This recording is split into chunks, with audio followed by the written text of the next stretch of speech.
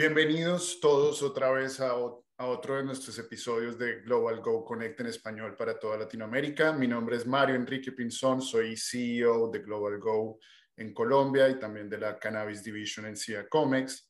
Eh, hace varios años ya uno de los principales prestadores de servicios a la industria del cannabis en Colombia. Gracias otra vez por acompañarnos. Hoy estamos aquí felices porque es nuestro primer webinar binacional entre dos oficinas de Global Go. En este caso será Global Go Colombia y Global Go México, lo cual esperamos que sea una tendencia que siga reproduciéndose y que podamos hacerlo después con Global Go Ecuador y Global Go en los diferentes países de América Latina a medida que el cannabis sigue avanzando por nuestro continente. Este tema de hoy a mí personalmente me toca mucho, pues porque la relación Colombia-México es un tema que podríamos hablar días y días y días. A mí personalmente me fascina porque yo cada vez que conozco un mexicano hacemos un clic instantáneo, parece que fuéramos amigos desde hace mucho tiempo y esa relación, esas similitudes, nosotros sabemos que culturalmente pues atraviesan un montón de factores, somos países y sociedades muy similares, quizá porque ambos crecimos viendo el chavo, viendo novelas, escuchamos cumbias, escuchamos rancheras, crecimos con Café Tacuba, con Aterciopelados, compartimos esa pasión de vivir tan latina, tan, tan quizá porque compartimos, eh, tenemos aguardiente y tequila en la sangre, por ahí decían antes, y quizá también por eso compartimos otros varios rasgos que han generado algún tipo de demonios al interior de nuestras sociedades, nuestras políticas,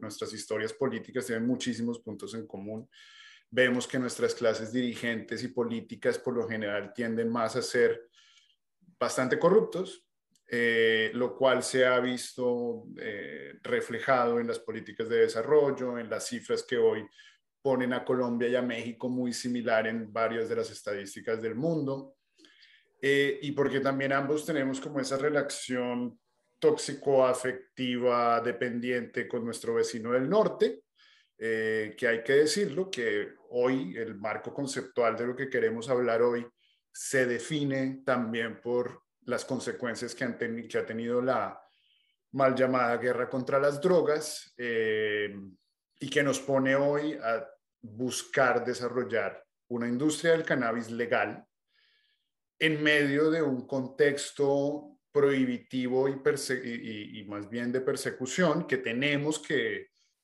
Em, poder taclear con muchísima rigurosidad, con mucha atención al detalle y saber haciendo bien las cosas. Eh, por eso entonces hoy lo que queremos hablar es la conexión Colombia-México en torno al cannabis legal.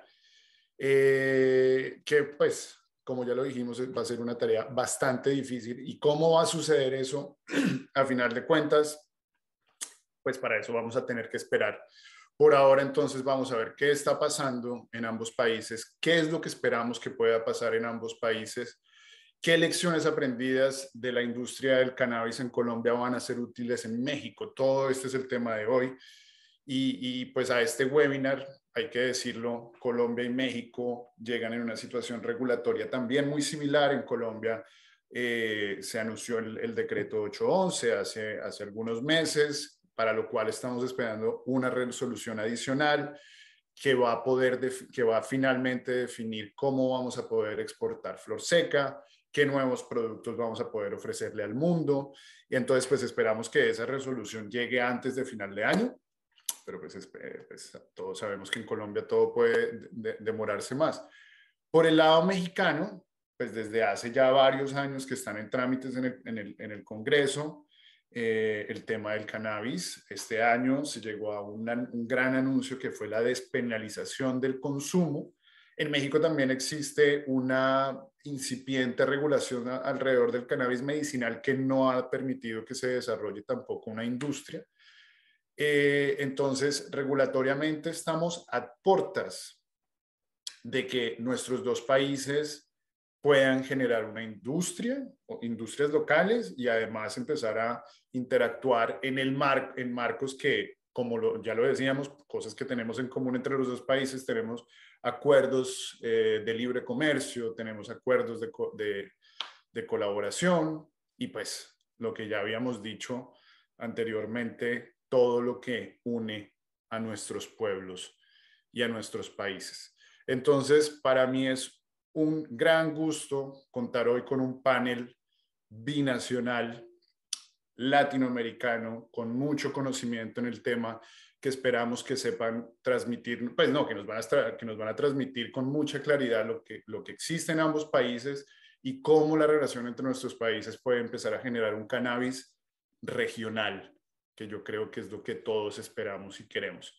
Entonces, para eso, pues, me dará mucho gusto darle la bienvenida a nuestro grupo de panelistas. Para eso vamos a empezar. Hoy hemos invitado a la abogada Erika Santana, pues que es una abogada especializada en cannabis y que ya lleva varios años trabajando en, en, la, legalización y en la despenalización del cannabis en la, la industria mexicana. Ahí estás. Hola Erika, por favor, ¿podrías presentarte para que el público te conozca? Sí, como no, muchísimas gracias por la invitación. Es un honor estar con ustedes el día de hoy. Soy abogada mexicana, eh, corporativista desde hace ya casi 30 años. Eh, me dedico en el despacho eh, un 95% cannabis, antes eran otras industrias y pues nos especializamos en el tema. He participado tanto en la redacción del reglamento médico, tanto en la asesor, por invitación de Presidencia de la República, asimismo en la redacción de la ley eh, del cannabis eh, en sus diversos intentos. En el pasado fallido, asesorando al Senado y Congreso, y en el actual también en la misma situación. Eh, nos dedicamos nosotros a litigio estratégico, compliance y gobierno corporativo. Nuestra visión, distinta a los demás, es de cómo si se puede, siempre con full compliance. Excelente, ahí estamos de acuerdo, así hemos trabajado nosotros en Colombia y pues así es que hemos logrado abrir rutas de cannabis colombiano, que ojalá próximamente también sean a México. Ahora quiero darle la bienvenida a mi, amigo, a mi amigo Luis López, él es el representante de Global Go México. También viene de un pasado de trabajo en el gobierno, en la regulación y pues también es uno de los, de los ejecutivos que se mueven por el cannabis en México y por favor si abres tu micrófono. Luis, bienvenido. Hola, muchas gracias. Eh, un, un, honor estar aquí participando en este webinar con panelistas tan distinguidos y, sobre todo en, un tema que, es apasionante, yo creo, para todos, que nos une, que es el cannabis. Eh, les platico muy rápido eh, un poco mi experiencia. Eh, fui funcionario federal durante 17 años en la Secretaría de Agricultura. fui diplomático varios años, participé en varias negociaciones de Tratado de Libre Comercio de México con diferentes países he representado a México ante, varias, este, ante varios organismos internacionales y eh, en los últimos años nos hemos dedicado a la consultoría para grandes empresas eh, este, extranjeras que están haciendo negocios e inversiones en Latinoamérica. Y hace aproximadamente cinco años eh, fuimos contratados por una farmacéutica de gran tamaño aquí en México para eh, desarrollar lo que sería el futuro eh, mercado eh, de cannabis medicinal en México. Y desde ahí tomamos la pasión como nuestra y, hemos, hemos logrado construir una visión 360 del negocio.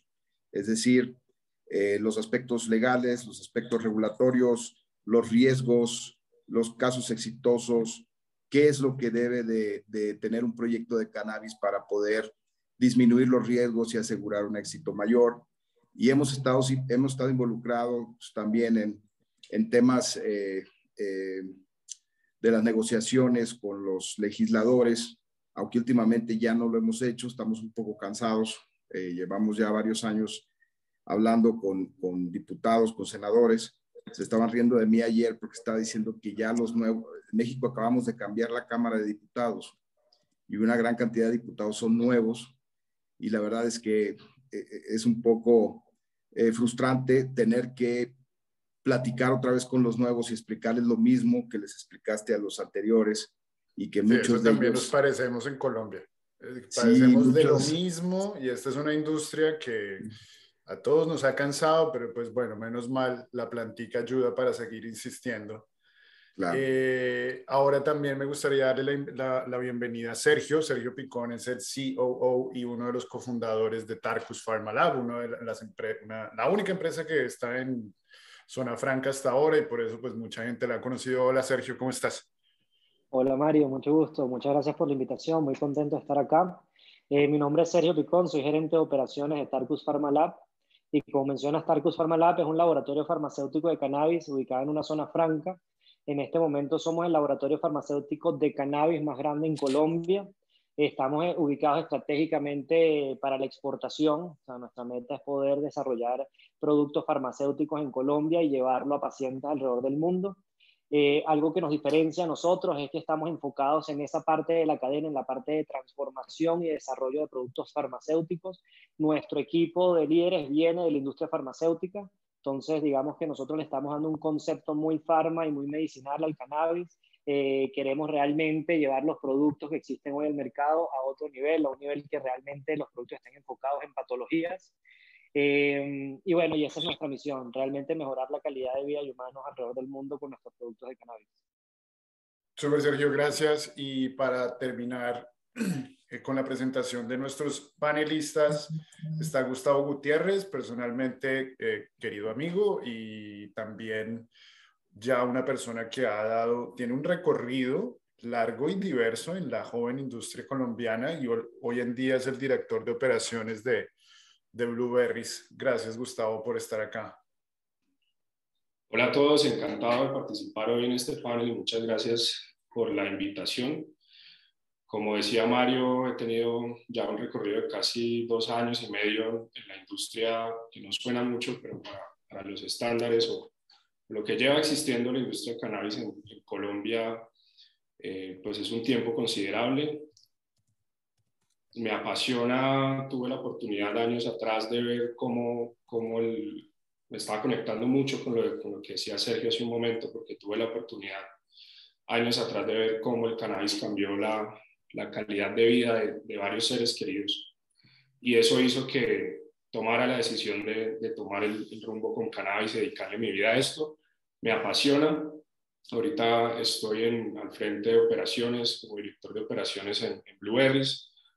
Eh, similar a Tarkus, estamos enfocados principalmente en transformación, producción de derivados tenemos ya la operación activa, estamos exportando activamente a varios, a varios países, a varios destinos y enfocados también 100% en, cambiar la calidad de vida, mejorar la calidad de vida de las, de las personas y los pacientes. Es lo que, nos, lo que nos mueve como empresa. Tenemos un equipo muy interesante, interdisciplinar, con un contenido importante también de personas que vienen de la industria farmacéutica, como es mi caso. Y bueno, encantado de participar. Vale, gracias Gustavo. Bueno, pues eh, muchísimas gracias a todos otra vez. Vamos a dar inicio pues a nuestra discusión y no podemos empezar por otro lado si no es por la parte regulatoria. Eh, de Colombia se dice que es el país más vanguardista y que tiene la mejor regulación en, en términos de cannabis. Eh, ya después entraremos a hablar un poquito más de Colombia, pero yo creo que ahorita la parte más importante que tiene a todos los empresarios, no solamente colombianos, sino de todo el mundo, con los ojos en México, es qué va a pasar o qué es lo que podemos esperar. Entonces, para eso me gustaría empezar con Erika y luego con Luis, que nos cuenten un poco qué está sucediendo hoy, qué pasa hoy y qué esperamos que suceda en términos regulatorios. Bueno, muchísimas gracias por la oportunidad. Eh, ¿Qué está sucediendo hoy en México? En México, el día de hoy, existe la Ley General de Salud que se reformó el 19 de febrero de este año, donde se reclasificó el cannabis para dar cumplimiento con la reclasificación que se hizo en la JIFE de la ONU. Esto quiere decir que antes la planta completa se encontraba en la fracción primera de eh, sustancias psicotrópicas controladas y se reclasifica y se baja ahora solamente el THC eh, todas sus deltas, fracción segunda cuando contiene más de 1% de concentración en el producto. Eh, estar en la fracción segunda significa que se requiere una receta controlada de un médico autorizado para poderla recetar y la fracción cuarta incluye al cannabis cuando tiene menor de 1% y esa es una receta como la de un antibiótico. Y la fracción quinta habla de todos los demás cannabinoides libres como OTC cuando hay menos de 1%. Y esto es lo que se permite en el parte de la ley. En el reglamento que entró en vigor el 13 de enero de este año, 2021, eh, se permite y está escrito y regulado toda la actividad para poder hacer posible el área médica, médica alópata, médica homeópata y medicina herbolaria. En México, COFEPRIS regula todo lo que un ser humano coma, beba, tome, se unte o se medique. Eso quiere decir que en la escalera de riesgos, porque es una regulación en base a riesgos, se dejan fuera otros productos que deberían de estar incluidos pero se omiten, no están prohibidos, no están permitidos, están en omisión. Y bueno, el reglamento revisa y da las pautas a seguir para la importación de semilla, insumo para producción o producto terminado, para el, cómo sí se debe llevar a cabo la actividad agrícola, la autoridad agrícola debió haber emitido los lineamientos a 90 días de la publicación del reglamento, esto según la fracción eh, transitoria número cuarta, que no se ha hecho, y se habla también de la extracción, de la fabricación del medicamento, eh, de la prescripción, eh, de la importación y exportación posible a cualquier país que tenga en su ley federal la posibilidad de hacerlo. Y esto que lleva a una contradicción entre el reglamento y la ley y que también todo lo relacionado con esto, si bien es cierto que hay una excepción en el Código Penal Federal, aún no se han modificado los demás códigos ni dicen cómo, pero sí sigue estando ahí la posibilidad del riesgo de incurrir en un delito porque están eh, tipificados del 193 al 199. Dice el 194 eh, que hay una excepción cuando se trata de temas médicos y científicos y omití, olvidé decir que también está eh, regulada la parte de el protocolo científico, el cómo sí se puede. Todo esto no era necesario, era porque ya existe. El COFEPRIS regula otros psicotrópicos de una manera más sencilla, donde nada más se debía de haber dicho, desde hoy se incluye el cannabis como cualquier otro psicotrópico y que caiga la formulación, atendiendo a la formulación donde deba caer. Sin embargo, se crearon contradicciones, lagunas y la negativa de la autoridad de otorgar permisos. Entonces, ahí entra la actividad jurídica, cómo sí se puede, de qué manera sí se puede y cómo le hacemos para que sí se pueda. En Luis, un... cómo, qué bueno, Luis, ¿y cómo podemos, qué, podemos esperar en los próximos meses y que esta actividad jurídica, cómo va a modificar la nueva regulación? ¿Qué podemos esperar? ¿Qué has escuchado? Bueno, la, la regulación actual que menciona Erika eh, es, está vigente. Sin embargo, uh, es muy difícil para, eh, pasar por esa regulación. O sea, solamente pueden pasar las, las, las empresas que tienen los recursos legales y económicos, pero hasta ahorita yo por lo menos no me he enterado que alguien haya recibido un permiso. Eh, debe de haber alguien, pero yo, no, yo todavía no me he enterado. Lo que está sucediendo en la realidad aquí en México es de que gracias a esos vacíos legales estamos eh, generando un mercado ilegal enorme. Es decir, tú ahora en México puedes ir a centros comerciales o, eh, en las estaciones del metro y vas a ver que, que hay, hay gente o tiendas vendiendo CBD y vendiendo diferentes tipos de productos, incluso con THC, a la vista de todos y no hay nadie que los esté regulando. Eh, es, muy interesante lo que está pasando porque eh, me, da la impresión que la autoridad lo está tolerando, ¿no? Eh, alguien ahí en la autoridad lo está tolerando porque la sensación aquí en México es de que eventualmente va a ser legal, ¿no? Y hay mucha confusión de si es legal o no es legal. Pero, por ejemplo, si quieres importar eh, algún, productos con cannabinoides de Colombia o de Estados Unidos, las fracciones arancelarias están bloqueadas. Es decir, no, no hay manera de importarlo legalmente.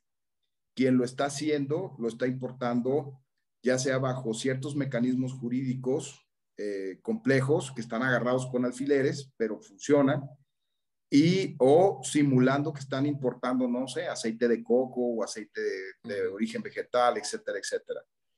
Y está sucediendo algo muy interesante que jamás creímos que iba a suceder. Y, por ejemplo, los, los productores ilegales que están en las sierras, en, los lugares apartados aquí en, en, México, están dejando de sembrar cannabis porque ya no es rentable. Eh, se, quejan altamente. Entonces, yo me pregunté hace algunos meses por qué no es rentable. Y, y, la conclusión que he llegado, que es algo muy personal, por lo que he estado viendo, preguntando, etcétera, es de que ilegalmente estamos trayendo mucho cannabis de Estados Unidos, incluso marcas premium. O sea, ahorita tú por Rappi o por Uber puedes pedir algo de cookies o algo de Mary Jane, cosas que son caras, cosas que son caras y que se están vendiendo en México. Y también hay muchos cultivos que han logrado tener muy buena calidad en los sótanos de la casa de la abuela, ¿no? O, o, en, la, casa, en la casa que rentamos junto con los amigos, tenemos, tenemos cultivos y está, la gente está haciendo cosas, está sucediendo, está abasteciendo el mercado. ¿No? Claro, sí, nosotros, si hay en Colombia y México, siempre va a florecer los mercados negros y somos unos artistas para eso. Y me parece muy irónico que, pues como mencionaba antes, que durante la guerra contra las drogas ahora el influjo del cannabis sea eh, al revés, pero ahora viene con marca, ahora viene... Quisiera, quisiera, cerrar, quisiera cerrar ese comentario, Mario, diciendo que me tiene sorprendido de que en México hay un mercado premium de cannabis. Es decir, hay un mercado que está dispuesto a pagar altos precios por un producto de alta calidad. Exacto. Y ahora ese es el nuevo tipo de mercado, es el, es el, cannabis de muy alta calidad, de la gente que lo puede pagar, que lo puede pedir por rápido. Y, Pero entonces, en eso... comentarte rápido respecto a la legislación general, que es, tu pregunta inicial. Exacto. Eh, esperamos que en noviembre el, el, Senado discuta el proyecto de ley que le envió la Cámara de Diputados. Eh, se habla de que van a ser por lo menos 17 grandes cambios a esa ley eso quiere decir que si hacen esos cambios y la logran aprobar, que yo veo muy difícil que lo aprueben en noviembre en el Senado, pero en el mejor de los casos que lo aprueben, va, se va a ir al periodo de sesiones de la Cámara de Diputados que empieza en febrero, que lo van a discutir y en el mejor de los casos lo aprueben. Yo no veo que antes de, del 2023 vaya, vaya, vayamos a tener una ley general del cannabis de amplio espectro como la que se está discutiendo en el Congreso mexicano. ¿Dijiste 2023? Antes de 2023 yo no veo nada, la verdad. Ok, y bueno, pues, bueno, bueno, ojalá digamos mitades de 2022 prendiéndole velitas a la, a la Virgen de Guadalupe. Ojalá. ¿Qué esperaríamos? Erika, ¿qué podríamos esperar de ese? ¿Será que de alguna forma va a servir para solucionar alguno de los problemas, de, por ejemplo, del mercado negro o algo así? O, o, o, qué puertas va a abrir, digamos, para otros mercados más regulados, fully compliant. ¿Cómo lo ves?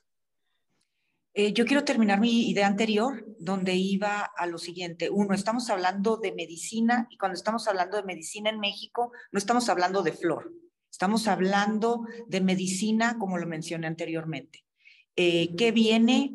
Viene que este reglamento ya existe y la ley se basa en el 2017. Independientemente que pase o no pase la ley, esto ya existe. Si tu tema es médico, agrícola médico, extracción para grado médico, medicina, cosmético o lo que sea, entra. Eh, decía que COFEPRIS tiene dos escalones en base a una regulación de riesgos en los que nada más toma en cuenta tres áreas que es la medicina alópata, homeópata y también eh, eh, la investigación científica, pero dejó fuera lo demás. ¿Qué pasa con lo que sigue? Pues se va a regular eh, cáñamo, cáñamo industrial para usos industriales, que creo que es benéfico, que realmente somos nosotros signatarios de, de, de, tratados internacionales y la parte lúdica limitada. Eso es lo que yo veo que va a pasar. Cuando se apruebe la ley, en el momento que sea en el 2022 o 2023, todavía va a faltar la armonización de leyes. Y ahí nos van a faltar dos, tres años porque ya conocemos el proceso legislativo. ¿Qué queda hoy? Si yo hoy quiero tener un negocio de medicina en México, falta que yo inicie un litigio estratégico, una serie de litigios, no nada más un amparo y trabajar bajo la suspensión, que es lo que muchos están haciendo. Lo que se tiene que hacer es obligar a la autoridad a cumplir con lo que está escrito.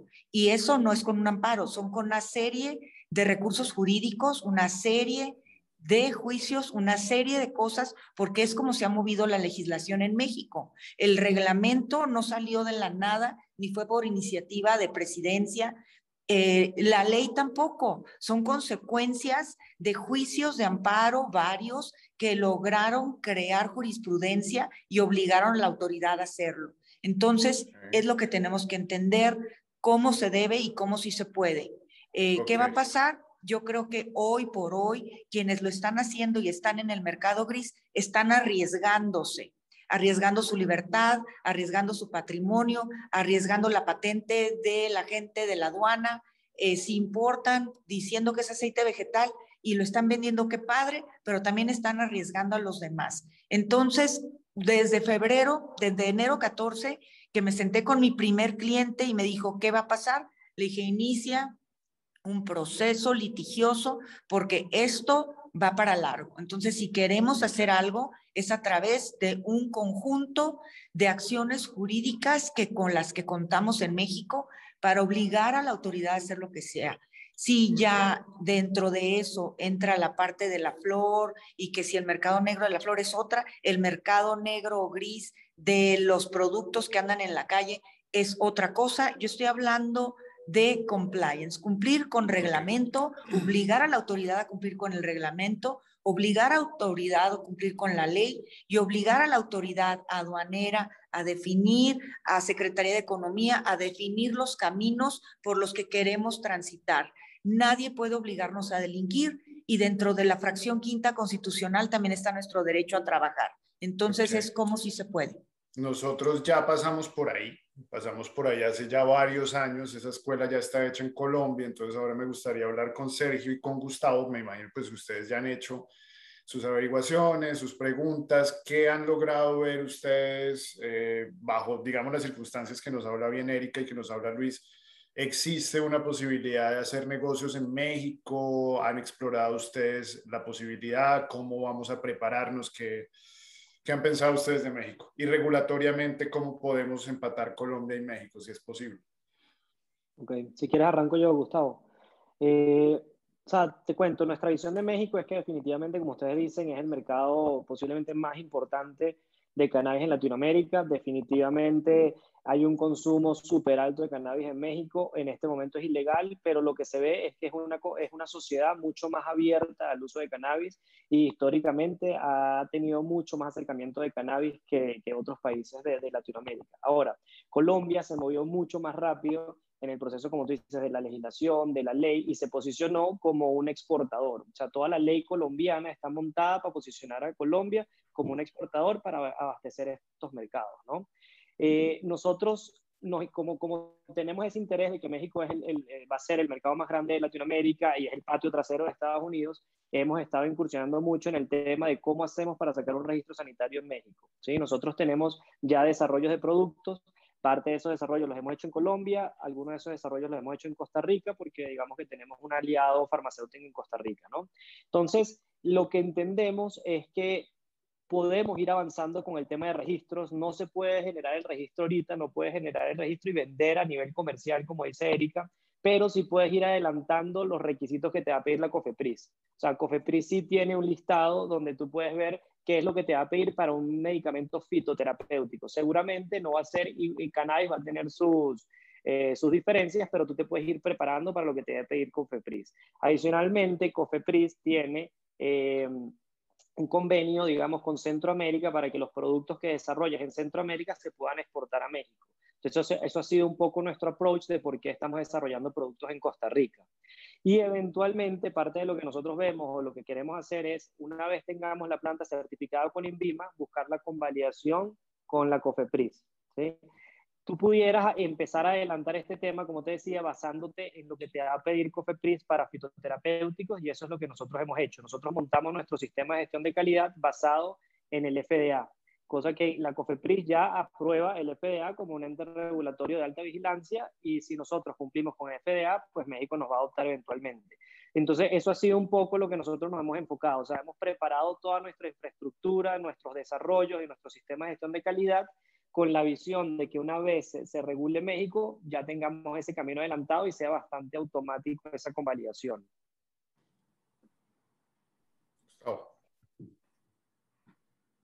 del lado de Blueberries, nosotros estamos enfocados más, menos en el producto final y más en las materias primas funcionales, un poco bajo la lógica de poder actuar como, como proveedor natural de diferentes industrias de manera simultánea. Pues alineado un poco con lo que dice Sergio de irse a un estándar más arriba, nosotros estamos en la lógica de certificar nuestras instalaciones como GMP de Unión Europea, es, es algo similar a la, lógica que, plantea Sergio respecto a tener un, estándar regulatorio más alto para poder sortear más fácilmente las barreras de entrada una vez se abra México. Adicionalmente, digamos, a medida que avance todo el tema de ir liberando las diferentes etapas de la producción de, de cannabis, desde el cultivo hasta los derivados en México, pienso que, desde Colombia, con, toda la, con todo el enfoque exportador que tiene la legislación, podemos actuar, eh, digamos, llenando ciertas, eh, ciertos baches que ocurren naturalmente cuando una industria es nueva. Por ejemplo, por plantear desde el recurso genético, cuando, cuando se dé toda la dinámica de poder cultivar cannabis legal en México, cuando se dé toda esta dinámica, pues vamos a poder estar listos también para de alguna manera aportar genéticas que si bien son latitudes eh, medianamente diferentes, pues esta planta se adapta con relativa facilidad.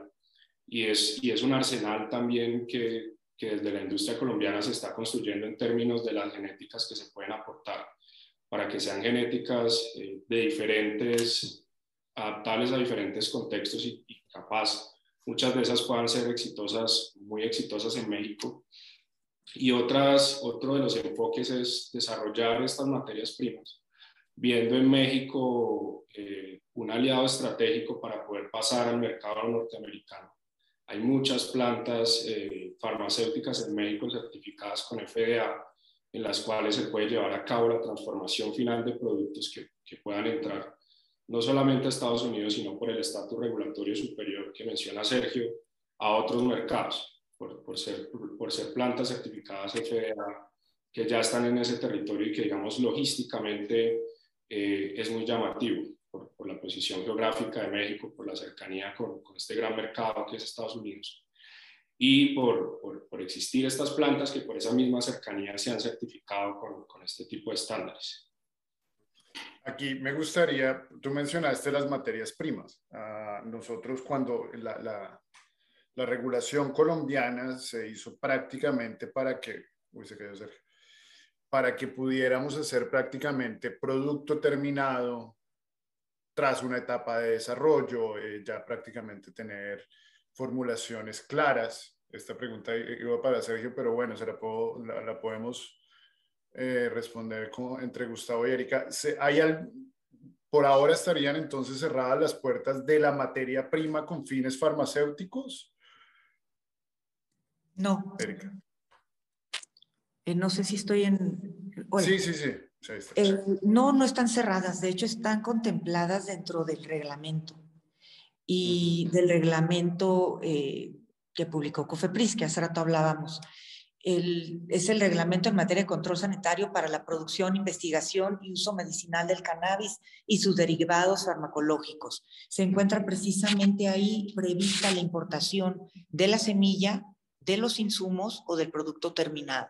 Está regulado, está previsto. En la Ley General de Salud también se hace, se importan otros psicotrópicos muchos más fuertes que la cannabis. Por lo tanto, yo considero que sí es posible llevar a cabo cuando ya se cuenta con un laboratorio establecido, previamente establecido, con los permisos previamente otorgados para el manejo de este tipo de sustancias.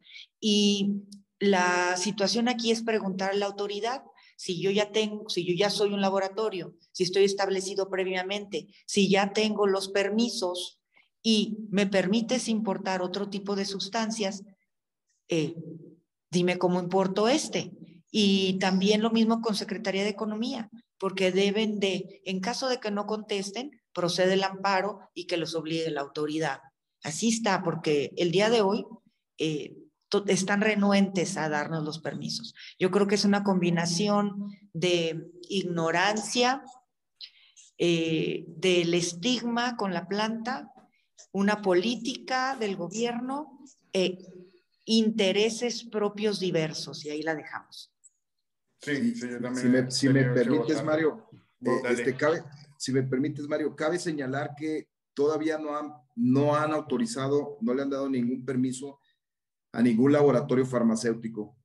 Eh, nosotros nosotros en particular hemos solicitado dos, estamos haciendo una investigación en el Instituto Nacional de, de Nutrición Salvador Subirán aquí en México para un, un tema de, de, CBD con eh, inulina de agave para, para el, el síndrome de, de, Cronos, que es de, un tema de digestivo, de colon.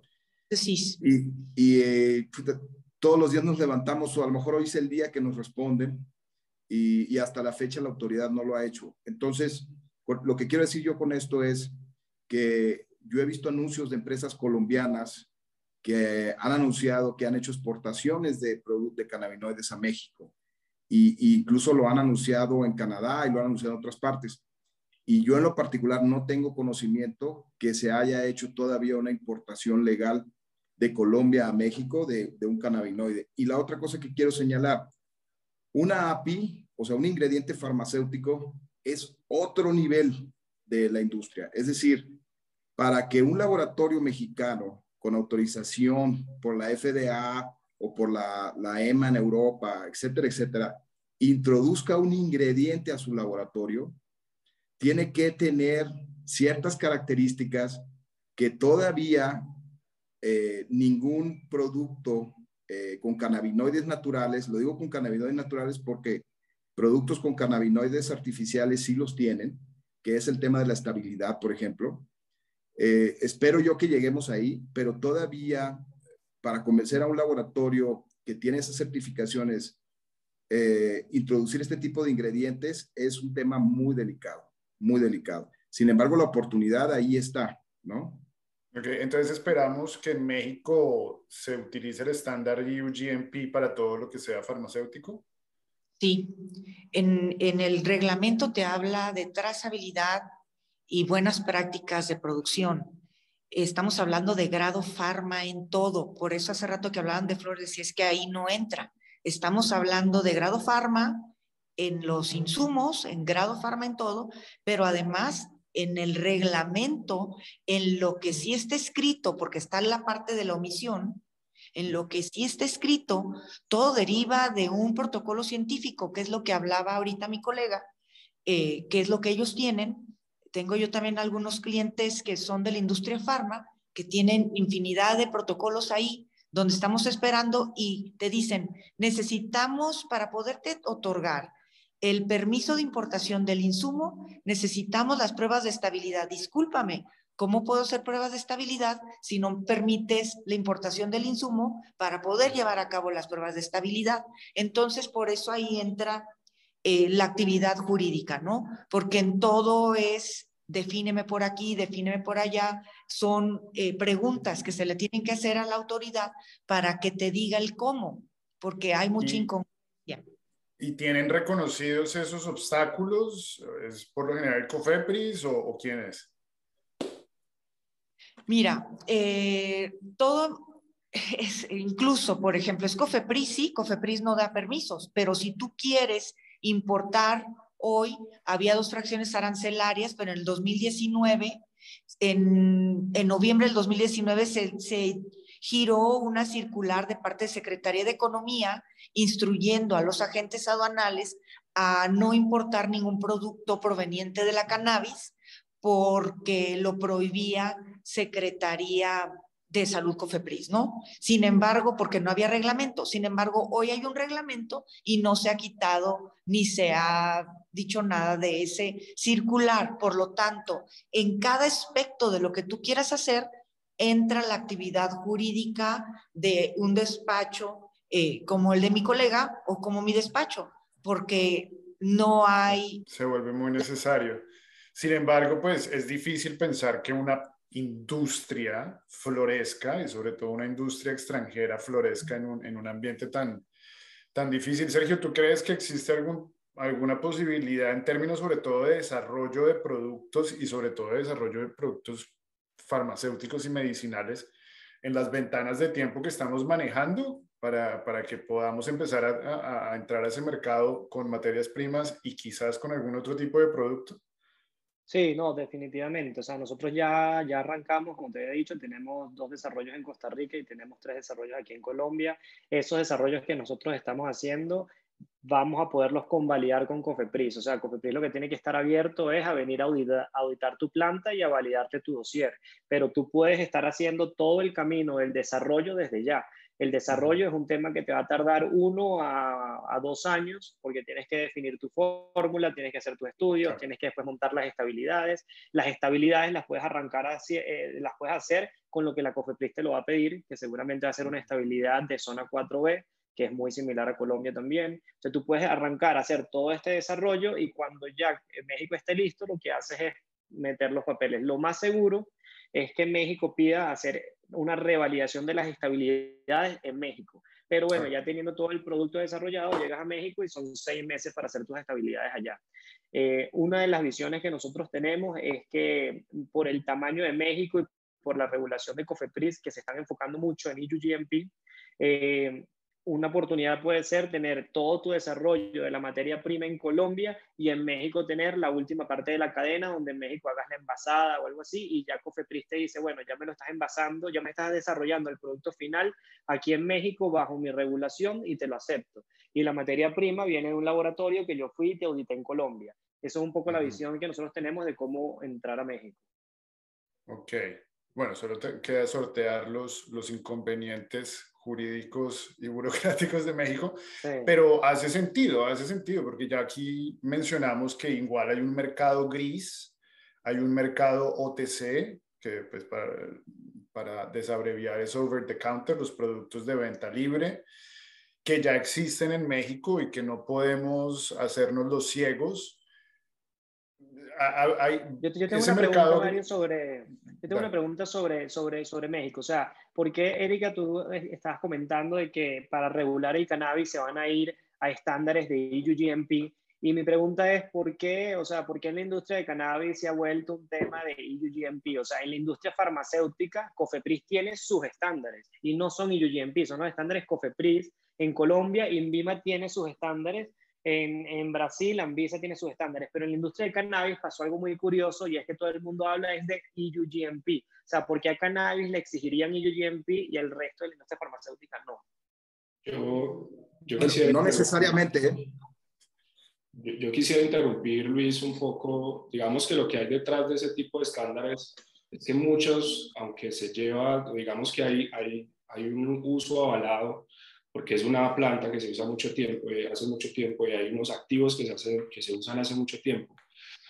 La industria los trata como si fueran activos nuevos. Entonces, esos activos nuevos implican los desarrollos de nuevas sustancias activas y esos desarrollos de sustancias, de nuevas, de, de sustancias nuevas están únicamente reglamentados por FDA y por EMA. Por eso es que, digamos, no es que el estándar sea UGMP, sino que muchas veces lo que hay detrás del desarrollo del activo, lo que se exige detrás del desarrollo de ese activo, corresponde a ese tipo de regulación. Ya lo que, lo que, lo que tenga que ver con, con la infraestructura y demás que se, que se pida, pues es otro tema y, seguramente, claro, lo, que dice Sergio es, es completamente real. Aquí hay industria farmacéutica, esa industria farmacéutica nos, en cuanto a su infraestructura y su, y su certificación no es, no es UGMP porque es una dinámica de industria diferente en la que existe ya muy, muy consolidadas las reglas para, para, para definir lo que es un genérico, por, por, poner un ejemplo. Eso no está tan bien descrito para cannabis, por ser algo tan nuevo, y es, y es lo que hace que finalmente se termine exigiendo ese tipo de protocolos eh, de ensayos clínicos para lanzar, para lanzar un producto, por ejemplo, que fue el caso de, de, eso, esa figura de, genérico de marca que hay en Colombia que, que lanzó Procaps hace unos años de Claro, pero por ejemplo, este, o sea, digamos, tú pudieras eh, argumentar que realmente el cannabis es una planta natural como cualquier otra, ¿verdad? Como cualquier otro extracto. Eh, Invima, eh, Cofepris tienen su reglamento para productos fitoterapéuticos. Lo que nos ha pasado en Colombia y en México es que ha sido muy, difícil incluir el cannabis dentro de la lista de plantas de fitoterapéuticos. O sea, no han querido, lo han tratado siempre de sacar. Y desde mi punto de vista, todo sería, o sea, sería mucho más ágil y más sencillo si dijéramos, mira, el cannabis es una planta más, la vamos a meter dentro de la lista de plantas aprobadas como fitoterapéutico y te va a ah. regir por toda la regulación GMP de fitoterapéuticos. Y así avanzaríamos muchísimo más rápido en Latinoamérica para posicionarnos, cosa que después tú puedas agarrar y decir, bueno, vamos a empezar a apuntarle ahora a subir los estándares. Bueno, lo puedes hacer en el tiempo. Sí, sí hay, hay, hay muchas opiniones, yo creo, hay muchas opiniones, yo creo, y es que la, la, la la desregulación o la desprohibición que están atravesando nuestros países es muy lenta y que se hace más que todo bajo los parámetros impuestos por los, que, los mismos que impusieron la prohibición. Irónicamente, ya en Estados Unidos se habla de legalización.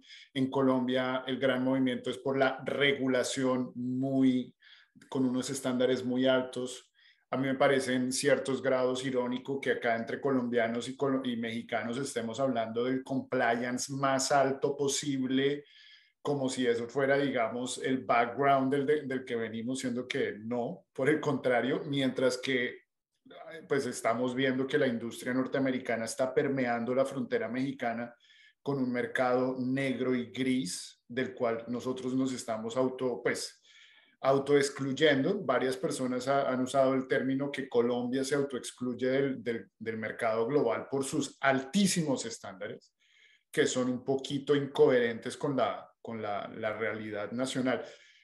Entonces, por eso quería preguntar, ¿ustedes creen en México ese mercado gris va a florecer en la oscuridad o se va a regular y en algún momento van a empezar a aparecer rutas para OTC, para mercados de consumo masivo, eh, que, pues, que por separarnos un poquito de lo tan medicinal, que, que, yo creo que conforma el marco conceptual de las dos regulaciones. ¿Ustedes qué creen? ¿Para dónde va? Luis y pues Erika. Ah, ok, perdón. Perdón. Creo que Erika tiene levantada la mano ahí. ah, sí, perdón, Erika. adelante, Erika, y, con mucho gusto yo complemento. Voy a ser breve, solamente en dos temas. Uno, que mm, la visión del legislador creo que fue cómo controlar más por miedo, cómo poner más requisitos a esta planta eh, por la situación histórica del combate a las drogas, y no conocer realmente de qué estamos hablando. en eso fue que las, estándares de GMP y de trazabilidad, etcétera, y puro farma. Sin embargo, se excluyen otras áreas que debe regular COFEPRIS. Y ahí tenemos también que es el remedio herbolario. Y en México, que es un país con la quinto lugar en el mundo de biodiversidad, solamente tenemos menos de 20 plantas admitidas dentro de la, del remedio herbolario, cuando el 80% de la población del país acude y, y prefiere un remedio herbolario, un té, a una medicina alópata. Entonces tenemos esa incongruencia muy grande. Eh, yo considero que sí a pesar de lo que la autoridad desea o tiene pensado, eh, la industria farmacéutica, de medicina herbolaria, de medicina eh, diversa que hay en este país y también de la remedio herbolario, suplementos y demás van a poder darse, porque deberían de estar. No puedo subir aquí una a la pantalla un cuadro que luego lo subiré, donde están contemplados todo lo que COFEPRIS debe regular y debería de estar contemplado en el reglamento y no está. Por lo tanto, ahí te da pie para obligar a la autoridad a incluirlo y que te defina por qué no. Si es parte de lo, de lo que debe de y de cierta forma entran en la Ley General de Salud, artículo 245, fracción quinta. Entonces, el camino no va a ser fácil, sí va a haber mucha chamba por hacer, hay que empezar hoy si queremos hacer, asentar las bases de lo que queremos hacer eh, y buscar buena asesoría legal, eh, porque es la manera para poder lograr el cometido. Regulatoria, legal, eh, es lo que tenemos que hacer, porque no veo otra manera y yo considero que aunque pasara la ley, todavía van a quedar inconsistencias, lagunas y temas que necesitan verse por medio de una estrategia jurídica. Gracias. Luis. Yo, veo muchas oportunidades entre Colombia y México y, sobre todo considerando el, marco comercial que tenemos, el marco legal para el comercio entre México y Colombia. El, desde que se firmó el Tratado de Libre Comercio en 1994, eh, Colombia ha tenido un déficit en ese intercambio comercial. En el 2020 eh, el déficit fue alrededor de 1.200 millones de dólares. Y en tema agroindustrial, el déficit anda como alrededor de 150 millones de dólares.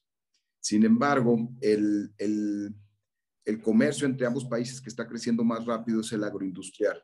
Al final de cuentas, cannabis está ligado al tema, al tema agrícola, ¿no? Ya sea que te derives al tema farmacéutico o al recreativo, etcétera, todo parte de un tema agrícola. Yo creo que hay grandes sinergias y hay cosas que se pueden hacer hoy en día entre México y Colombia. Eh, conozco yo diferentes empresas mexicanas que están haciendo investigación, por ejemplo, en Estados Unidos, en Canadá, en Israel, porque no lo pueden hacer aquí en México, porque no lo pueden hacer. Y yo creo que eh, sería un buen momento para poner a Colombia en el mapa eh, respecto a las cosas que las empresas mexicanas pueden comenzar a hacer ahí en México y las, em, las cosas que las empresas colombianas pueden hacer en México en el sentido de comenzar a desarrollar genética, como bien decía Erika, a través de ciertos protocolos eh, de investigación que se pueden presentar actualmente a la autoridad, se pueden empezar a adaptar las, las, eh, las, variedades que ustedes en Colombia han encontrado que pueden tener resultados interesantes.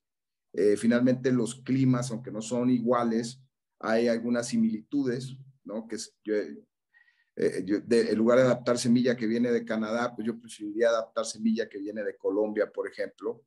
Eh, es, es un buen momento, a pesar del marco regulatorio que tenemos en México, es un buen momento para que Colombia, las empresas colombianas comiencen a poner un pie en México.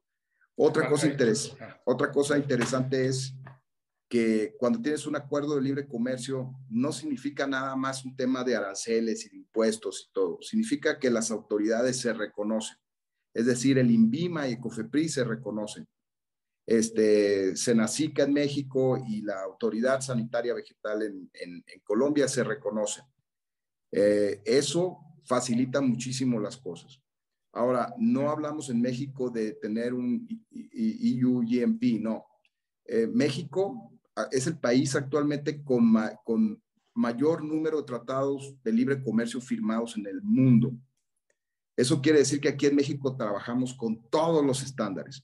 México eh, es, es actualmente el séptimo país exportador de alimentos o de productos agroindustriales en el mundo. Entonces, Colombia se puede subir en ese, en ese stream de que si produces en México, porque finalmente el tema de cannabis no va a ser tan diferente. Si te subes a México vas a poder accesar a todos esos mercados, ¿no? normalmente la regla es alrededor de 30% de componente nacional. En el caso de México y Colombia, para reconocerse con un arancel cero es el 50%. Pero eso es muy sencillo cuando exportas un ingrediente colombiano.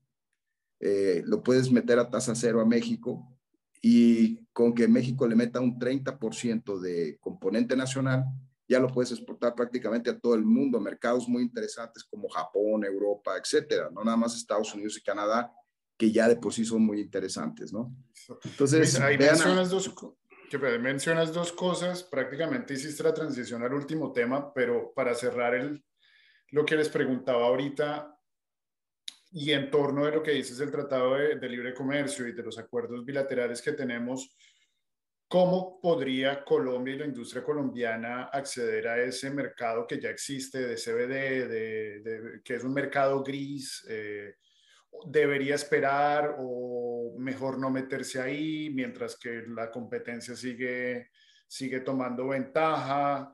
Eh, ¿O va a llegar alguna regulación que finalmente nos deje vender productos eh, de menor valor agregado, pero pues de, de la diversidad que todos sabemos? Tú cómo la verías ahí? Bueno, hay, hay algunas cosas, como bien decía Erika, que ya se pueden hacer. Eh, temas de cosméticos, ¿no? Temas este, que no tienen nada que ver con el consumo, con el consumo humano, ¿no? Pero obviamente hay que seguir un tema, un, proceso tortuoso legal para poderlo hacer. El, el, tema con los americanos de todos estos productos que entran es porque tenemos 3.000 kilómetros de frontera en común. Entonces, en esos 3.000 kilómetros, a pesar del muro de Trump y todo lo que tú quieras, suceden muchísimas cosas. Este, ustedes no tienen esa característica, pero sí tienen un acuerdo de libre comercio. Entonces, en medida de que las autoridades mexicanas reconozcan los productos que ustedes ya tienen certificados ahí en Colombia a través de un partner mexicano, yo siempre sugiero que tengan un partner mexicano que los lleve de la mano y, y obviamente se la juegue con ustedes, los proteja eh, como anécdota te digo, yo cada mes recibo cuatro o cinco llamadas por lo menos de amigos de la industria de cannabis en Estados Unidos o en Canadá que me dicen, oye, me están vendiendo unas licencias en México. Eso no existe. Entonces, esa, todos esos empresarios, eh, muchos desafortunadamente están cayendo en, en, fraudes que están haciendo desde aquí, desde México, diciendo que ya tienen licencias y todo eso. Entonces, como, como países que somos muy similares, hay que tener cuidado, hay que tener socios locales que te ayuden, te lleven. Y obviamente hay nichos de mercado donde ya se pueden ah, eh, comenzar a hacer cosas, ¿no? Lo que yo no sugeriría es que te esperes a que en México haya el marco legal para comenzar a, a hacer las cosas, ¿no? Sí, sí, sí, sí, eso está claro. Hay que empezar desde ya, lo que mencionabas ahorita y que Erika también dice de toda la chamba tan gigantesca que es montar una industria nacional y local eh, ahí hay un montón de lecciones aprendidas. Colombia, estos últimos cuatro años, aunque han sido de una espera larga, agónica y donde la voluntad política también brilla por su escasez, nos ha permitido también tener cuatro o cinco años para estabilizar productos, para estabilizar genéticas, para generar tecnología, para hacer estas instalaciones. A mí me gustaría preguntarle a, a Gustavo y a Sergio, ¿cuáles son las lecciones aprendidas que nos podrían permitir generar otro tipo de intercambios, no solamente comerciales, sino de transferencia de tecnología, transferencia de conocimiento? ¿Cómo podría la experiencia colombiana ayudar a, los nuevos emprendedores que en México buscan entrar a la industria del cannabis? Gustavo. Sí, yo pienso que una de las, de las lecciones aprendidas más fuertes que, que, tiene la industria del cannabis en Colombia desde el punto de vista de cómo se conformaron las compañías es el tema de la, de la verticalidad dentro de una compañía. Yo pienso que es un tema que a todos nos duele, a todas las compañías o prácticamente todas las que estamos en el sector y que estamos desde los inicios, el tema de la verticalidad ha terminado por por no ser capaces de, de tener toda la cadena dentro de una compañía y esa es una de las lecciones que los emprendedores en, en México deberían tomar. Yo pienso que, que tratar de ser expertos en, en, seis o siete puntos de la cadena de valor simultáneamente para una industria que es completamente nueva es, es una lección que, que, aprendimos todos o que estamos aprendiendo todos a la fuerza. Y, y, es una lección importante eh, a la hora de, tratar de sacar una iniciativa eh, en, un, país donde la, la, industria está naciente. En ese mismo orden de ideas, eh, tomando un poco la, la palabra de Luis, los socios locales, no solamente en el sentido Colombia-México, sino los socios que México pueda tener en Colombia para ciertas operaciones o para adelantar ciertos procesos, eh, como el desarrollo con, materias primas. Eh, quiero aclarar, no me refiero a los, a los commodities que todos conocemos, isolate, road, crudo, eso, ya no alcanza a ser ni siquiera una materia prima, eso es, eso, es un, eso es un producto de partida para materias primas. Lo cierto es que para formular un producto, yo casi que no puedo tomar ese derivado e incorporarlo directamente. Pues, sí hay una oportunidad y sí podemos aportar mucho desde Colombia con materias primas funcionales que ya, que ya, cuyos desarrollos ya están corriendo para adelantar y para, para acelerar mucho la dinámica de la industria mexicana. Sergio. Sí, desde mi punto de vista, o sea, yo creo que una de las cosas que, que aprendimos en Colombia también es que nos enfocamos mucho en la materia prima. Creímos que sembrando y haciendo extracción eh, íbamos a vender toneladas y a unos precios eh, como se veían hace tres años y realmente la, la, la, industria se está comoditizando y se va a seguir comoditizando. Hay una sobreproducción en Estados Unidos y en Canadá de cáñamo que no es el mismo modelo de negocio de Colombia. Nosotros pensamos que había que sembrar flor, hacer la extracción de flor y meternos en el mercado farma. Y entonces ahorita nos, nos encontramos con que ese mercado farma va a tardar mucho tiempo en desarrollarse y que realmente tenemos que competir es contra los productos y los precios americanos. Pero la industria como se estructuró en Colombia no está estructurada para competir contra esos precios, sino está estructurada para entrar a un nicho de mercado muy específico de altos precios que hoy es muy chiquitito. Entonces, mi recomendación para los emprendedores mexicanos realmente es que se enfoquen más en el desarrollo de productos y en encontrar usos médicos del cannabis. O sea, que se enfoquen mucho en la parte médica, en desarrollar un equipo médico con un director médico que realmente esté liderando un programa de encontrar usos para patologías específicas en el cannabis. Ahí realmente está la diferenciación. Eso lo hizo GW Pharma, encontró un producto que logró patentar y que tiene un uso específico. El resto de productos que tú vas a ver en, en la industria de repente en California son productos más orientados a la parte recreacional, productos que es la misma tinturita de la concentración del 10 o el 5%, y entonces la misma tinturita te sirve para sueño, para ansiedad, para dolor, para todo. Y realmente no es así. O sea, si tú te metes realmente en el aspecto médico, a la investigación y tal, tú puedes llegar a decir, mira, esta patología se trata con la combinación de CBD y estos otros principios activos que cuando los combinamos y los dosificamos de esta manera, realmente le estamos dando un uso al cannabis que puede tratar dolor. Si lo combinas con estos otros y con esta dosificación, podemos tratar sueño. Y ahí realmente está el valor agregado en la, industria de cannabis, que tú realmente puedas diseñar una, una fórmula y puedas encontrarle un uso a esa fórmula para una patología específica y eso es lo que va a ir cambiando y profesionalizando la industria. Colombia, digamos que nos enfocamos, como decía Gustavo, en la parte de materias primas, pensando que la materia prima era el camino, pero realmente ahorita nos estamos dando cuenta que no, o sea, que, que con materias primas, como estructuramos la industria, no competimos con precios americanos, pero si te integras downstream y logras desarrollar un producto ganador, pues tienes un mercado, digamos, muy atractivo porque las demás empresas americanas, que es donde está el 80% del mercado, no lo hicieron así. El mercado americano es muy informal, muy recreacional, muy de que, bueno, el CBD sirve para todo. Y, yo creo que ese enfoque, si lo cambiamos en México, México se pudiera convertir en un proveedor para Estados Unidos, incluso, de productos terminados. Ok. Bueno, pues muchas gracias a todos. Ya llevamos casi una hora. Eh, me gustaría pasar a, a, darle la palabra a Erika y a Luis para que den sus apreciaciones de cierre, eh, tanto para sus compatriotas mexicanos como para los colombianos y todos los latinoamericanos que nos ven. Erika. Gracias. Sí, en referencia a los comentarios anteriores, para cerrar, yo quisiera alentar a los que tienen interés en llevar a cabo o iniciar alguna una, empresa en México, es bien necesario hacer un plan de negocios, conocer cuál es tu objeto, cuál es tu misión, cuál es tu visión y cuál es el diferenciador de tu producto. ¿Por qué van a comprar el tuyo? que es esa característica que le da valor. Y ahí es tal vez agregarle un poco de tecnología de investigación. Presido el Consejo Nacional para Investigación y Desarrollo de Bioderivados. Mi visión está muy enfocada en, los enteógenos, en este caso cannabis, y es ahí donde, ¿por qué tu producto? Realiza un protocolo científico. En México hay eh, muchos científicos que conozco que tienen más de 30 años llevando a cabo protocolos. Y cuando yo he hablado con ellos, están esperando que les aprueben sus protocolos científicos.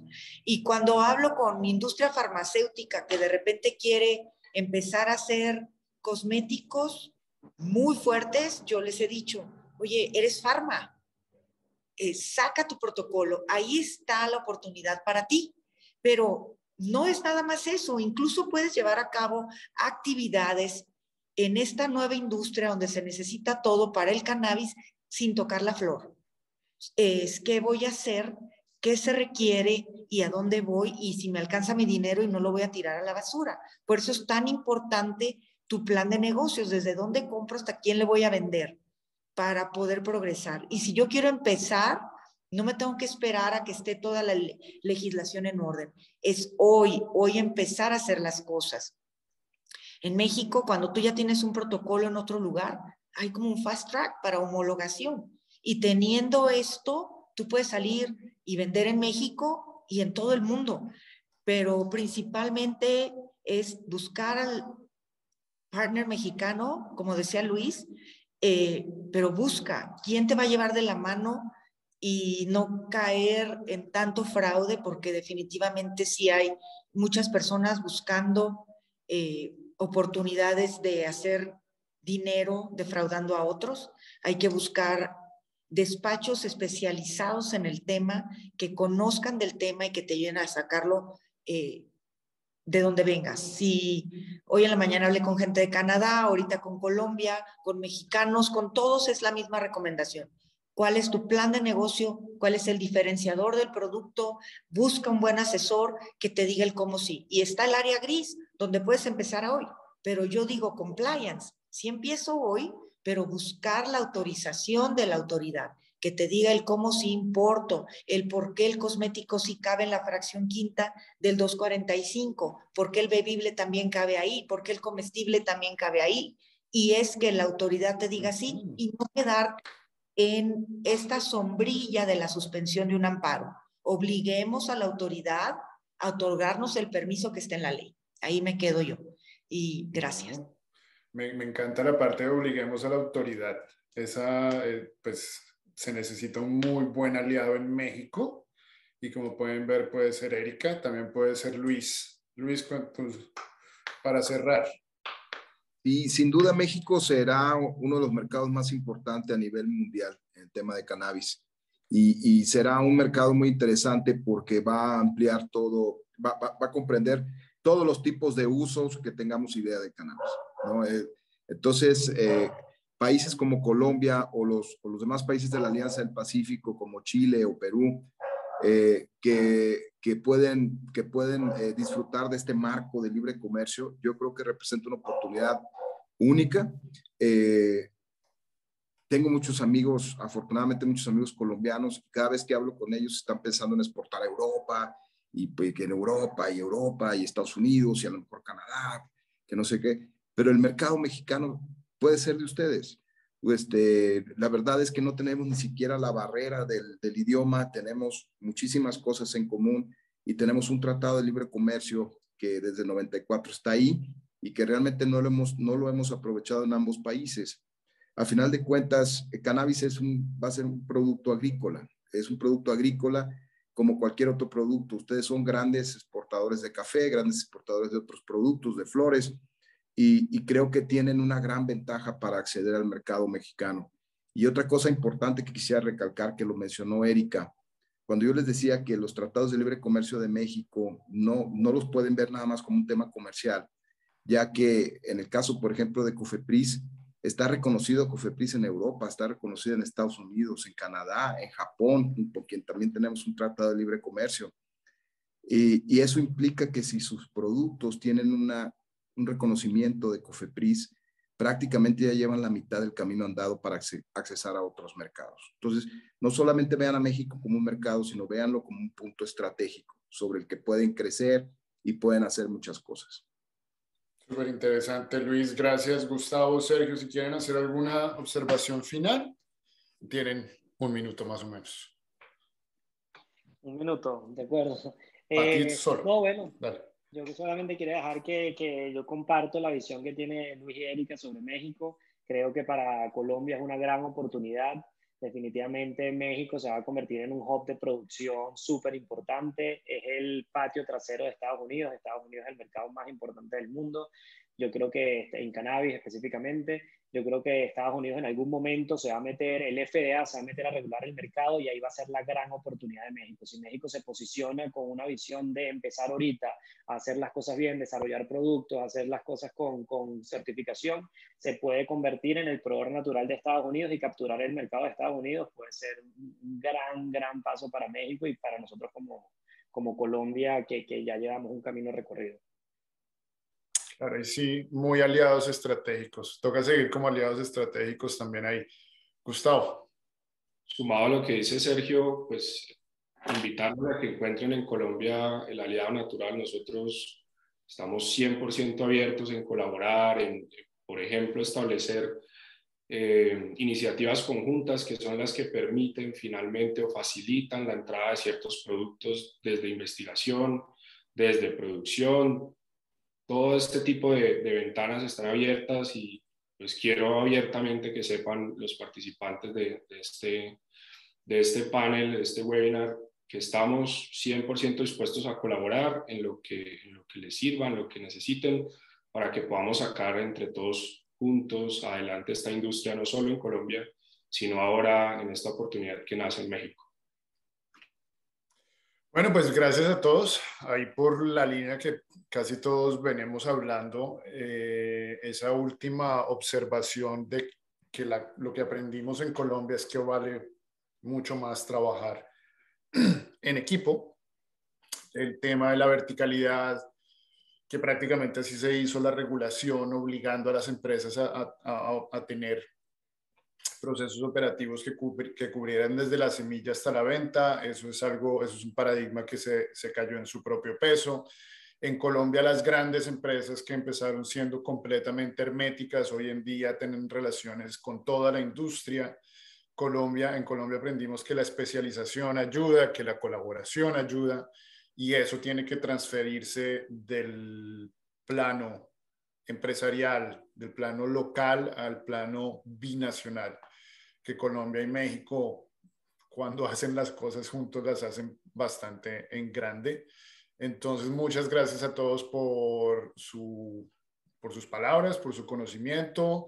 A todos los participantes, muchísimas gracias por haber venido. Si quieren contactarnos, pueden contactarnos a globalgo.consulting por nuestras redes sociales. Luis, eh, como representante de Global Go México, puede ser el aliado estratégico que están buscando en México. Nosotros, Global Go Colombia, pueden ser el aliado estratégico que están buscando en Colombia. A todos muchas gracias, que tengan un maravilloso almuerzo y esperemos que la planta nos siga llevando a, nuestros dos países a un lugar mejor. Gracias a todos. Que tengan un buen día. Igual, Mario, gracias. Gracias. Muchas gracias. Hasta luego. Que tengan buen día. Hasta luego.